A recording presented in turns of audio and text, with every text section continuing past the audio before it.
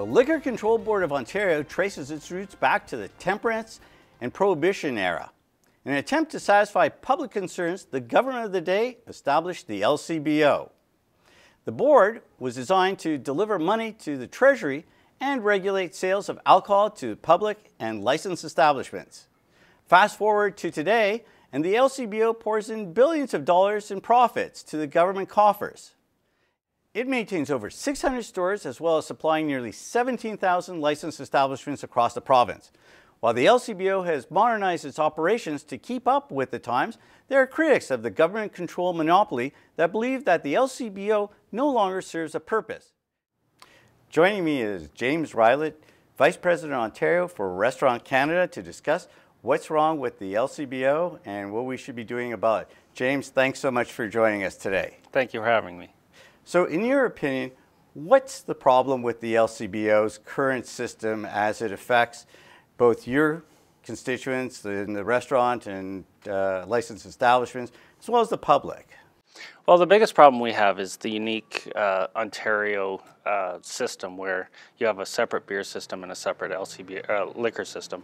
Um, that's rarely seen anywhere. Um, what happens is because the LCBO has a secret deal to, uh, well, not so secret now, to only sell beer in, in the beer store, our members can't buy at the LCBO. Now, the LCBO sells to our members at, at uh, list price, and the beer store actually sells, uh, believe it or not, to our members at 30 to 50% more than you would pay yourself. So I, I was reading somewhere that a case of beer on average is $30 at the, at the beer store, and you have to pay close to $45 for yeah, a that's case? The, the worst case scenario is with Labatt Blue. It's $30 for an individual and 45 for members. Uh, for most others, it, it, ranges around 30, around $10 more, about 30%, but uh, it's fairly significant when you're running a business. So how do they justify that the average consumer can go into a beer store, pick up a case, bring it home, and then they go to their local establishment to watch a hockey game or a baseball game, and they're paying 50% markup just for getting the product to your stores or to your restaurants. They've I've never heard a good ju justification of it. Uh, most of the beer companies simply say we don't discuss, pricing, um, so they've they've never even answered to us as to why that is. Um, it, it, goes against every every business uh, policy that anyone knows, and uh, well, I can't understand it. So how does that impact on your members, on the restaurateurs, the licensed establishments, when they're paying that type of uh, markup? Well, it mostly affects independents that uh, they, you know, they don't have the ability to to find other uh, ways to make up for that lost revenue. Um, they're cutting back hours. They're they're mm -hmm. doing other things uh, to try and uh, economize. Um, and it's it's significant money, especially for a small business. Even mm -hmm. if you even on this low scale, if you're going through well, for example, if you go through 100 cases of beer a, a week, uh, it would cost you about $1,000 out of your profit margin every week. So that, that's the additional cost. In other industries, uh, in the food industry, for example, you can get a discount on bulk purchases. So if you're buying thousands of dollars worth of a product, usually the uh, company will give you a break on it uh, so you can then mark it up, you know, and that's yep. your, your margin on that how does that work in alcohol sales? You, do you have that same ability to buy in bulk? No, it doesn't matter how much you buy. You always you pay the same price. Uh, most provinces give us a, a, volume or a discount for a licensee discount. It's called. Um, we don't get that in uh, in liquor sales um, uh, in Ontario. In LCBO, we pay the same price as, as uh, list price, um, but at, in beer store, we pay more than list. So there's really no inherent advantage in, in anything that the government is offering to, to consumers through purchasing alcohol in a licensed establishment in Ontario. No, there's not. There's there's no encouragement of small business. There's no encouragement to to help business uh, flourish uh, in Ontario. So, what are the Restaurants Canada doing to try and persuade the government to take a different approach on this? Well, we've met with Ed Clark. We've asked him uh, to two things. We've asked him to get rid of the deal that uh, that doesn't allow the us to buy product in in LCBOs. Um, we think that's the quickest thing that, that that we can do to ensure that our price uh, comes under control.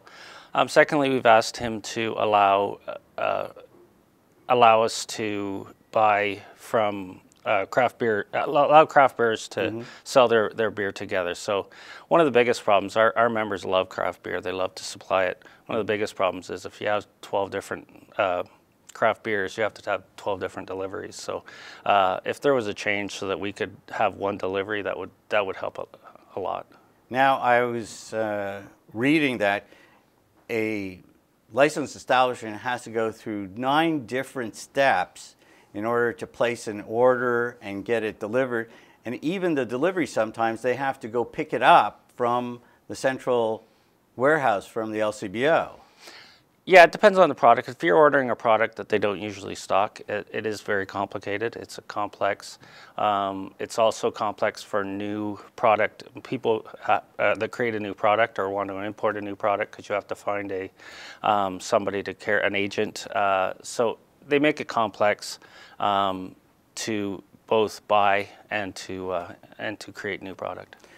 So a lot of restaurants, one of the things that distinguishes them is their wine list, and uh, you know it's a competitive advantage having different wines that you can't get at the LCBO or you can't uh, get on your own.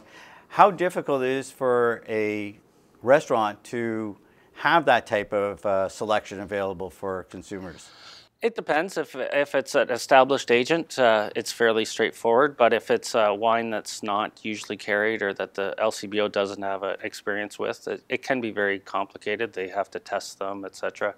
Um, and one one uh, operator that I've talked to like to go to wine auctions where they buy special brands, special years, uh, just to have the the best available. And it it's uh, it's very hard for them to to do that. Mm-hmm.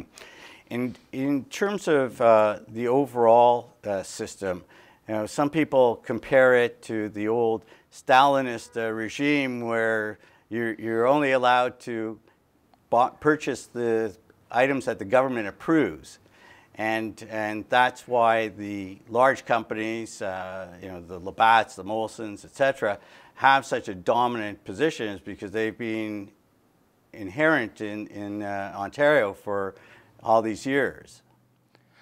Um, on, on, the restaurant side, it's it's it's a, it's a combination. Like first of all, the the top brands also do dominate in the restaurant industry and in the bar industry, mainly because of advertisement. And our members aren't usually there to to to sell a certain kind of beer. They they just sell whatever the customer asks for. We are seeing a lot more now where. Uh, um, better restaurants are pairing uh, different beers, especially mm-hmm. with different meals. So so people are getting uh, uh, introduced to a lot of beers they normally wouldn't taste, um, and wines and, and ciders as, as getting popular. So we always look at ourselves as the first step to introducing new product to, to people because you might not buy a case of it in the beer store, but you might try a try a uh, bottle of it in the in your local uh, bar if it's suggested by the bartender. In 2005, the Dalton McGuinty government established a, a task force to look at uh, alcohol sales in the province. And one of the recommendations that they submitted to then Treasurer Greg Sorbara was to privatize the LCBO. And uh, the McGuinty government uh, didn't uh, feel that that was something, and then they shelved the report. What are your thoughts on privatized uh, beer and alcohol sales? Um, mostly that I think that would affect mostly the uh, on the retail side. How uh, the effect that it would have on us if uh, the distribution was privatized. I think there's a lot of distribution chains. Uh, we we have lots of large companies that that supplied our restaurants, and and as I said earlier, the, the fewer times you have to have uh, somebody to to uh, receive a delivery, the better. So if if those could be merged, that would be great. But I, I think on the distribution side, it would especially help our members. So if if uh, you you've been meeting with Ed Clark and he's been trying to uh, maximize uh, provincial assets, and the LCBO is one of the ones that he's looking at, and he's to some degree talk also about the beer store. what recommendations have you made to uh, Clark uh, Commission? Well, we made three three recommendations as I, as mentioned earlier. One was to uh, have our, our members buy product, all sizes of beer at the LCBO. That that would both lower our price and it would uh, provide better convenience. We've asked him to co- for co-distribution with craft beers. We think that would help them and it would also help us. We've also asked him for something called off sales, which a lot of other provinces have, which you can buy, uh, especially craft products, at a beer at a at a bar.